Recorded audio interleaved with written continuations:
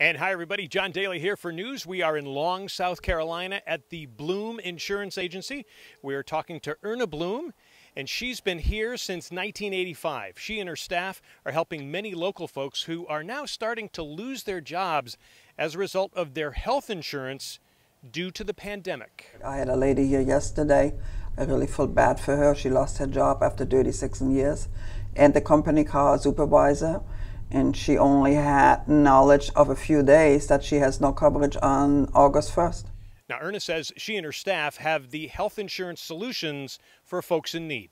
And we write policies, many policies, Blue Cross policies with zero dollar premium. And that's what people can come in. They can, if they cannot afford their policies now or they lost their policies, we can help them. Definitely, we can write everyone. Explain the zero premium policy.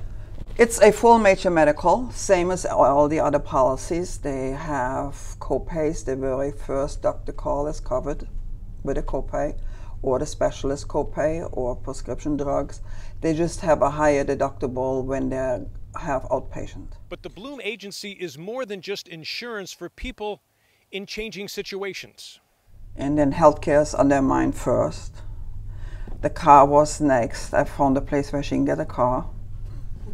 And um, retirement issues, she had a 401k, so we need to roll that over. So the, we just can help them all around. I'm also connected with an attorney. She does uh, wills and uh, trusts and so on. I'm connected with an accountant who can help them. So they're protected legally, what we don't do.